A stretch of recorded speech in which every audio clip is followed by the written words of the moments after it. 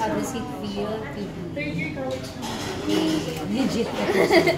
Very grateful. Opo, I'm, I'm so, so thankful, especially to Artist Center, kila Miss Gigi, Miss Lily Beth, na they gave me the opportunity po na maging parte po at maging kapuso po sa Oo, you're, you're, you're, ang co-manager pala is your mom. Yes, opo, Mama J. Oo.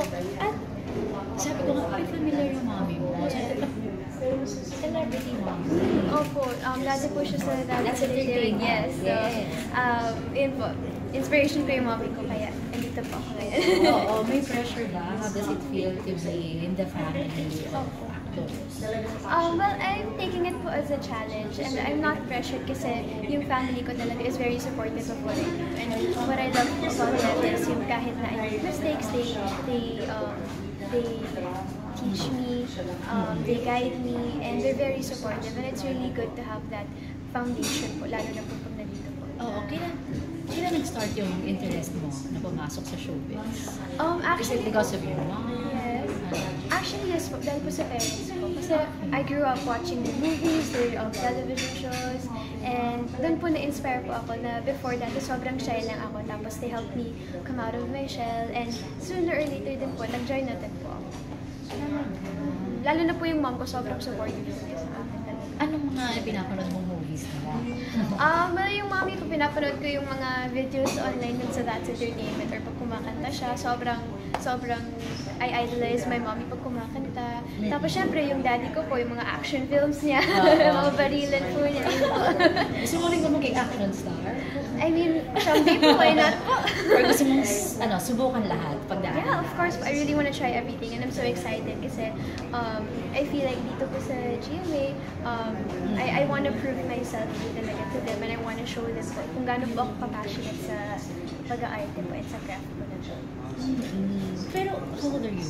I'm 20 years old. Tapos ka na? Po? Graduate ka na? Malapit na po, two more years. Nasa college po ako ngayon, so getting there, getting by. Kasi parang yung mommy mo yata started uh, very young. yes, opo. Oo, mas younger than you. Mm, Anong I, nagsimula siya? I think I started earlier po. Yeah. Okay, ah, okay. Opo. I started when I was 16.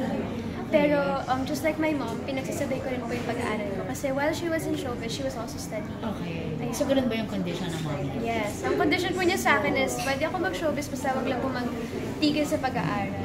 Okay. Mahirap? Mahirap po, pero feeling ko kasi mas mahirap pag ititigil ko po. Kasi parang feeling ko mawawalan po ako ng motivation ng mag-aaral. So, ayun po, tuloy-tuloy lang po ako and get by. Kahit slowly lang. Slowly but surely. Ayun lang. Ayun. Anong best advice na binigay sa'yo ng mommy? Um, advice po niya sa akin is, mahalin ko yung trabaho ko. And I think that applies po talaga. Kasi kung hindi niyo mahal yung trabaho, parang magiging pabigat or magiging mahirap na to get by day by day. Pero pag mahal niyo yung trabaho niyo, may passion pa kayong galingan pa. So, that's what I always keep in mind. Uh, Nakos pa ba yung dad mo or what was his reaction na pumasok pa niya sa showbiz? Actually, we got to talk na po um, a few months ago. Mhm. Yeah, we spoke to each other. And that's when I told him po na I'm here GMA. But yeah, And he's happy.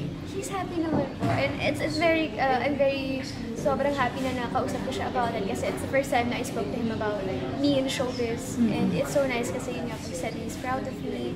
And yeah, I'm very grateful. And he's very supportive naman.